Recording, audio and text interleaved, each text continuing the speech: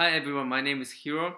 I'm from Osaka, Japan, but I've been outside of Japan for almost 10 years, living in the United States, Chile, and currently in Mongolia. I can teach you Japanese, English, and Spanish, and I'm an educator holding five educational licenses in Japan, as well as my master's in international education.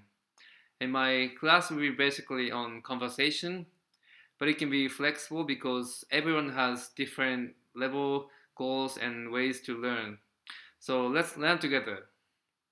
皆さんこんにちは、えー、ヒロです、えー大阪出身です、えーアメリカと南米チリ、えー現在はモンゴルと、えー日本を離れて10年ぐらい経ちますけども、えー日本語、英語、スペイン語を教えることができます、えーよろしくお願いします。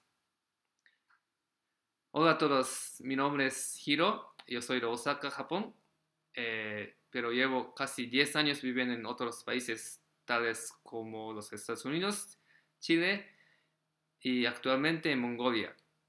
Yo puedo enseñarte japonés, inglés y español. Muchas gracias.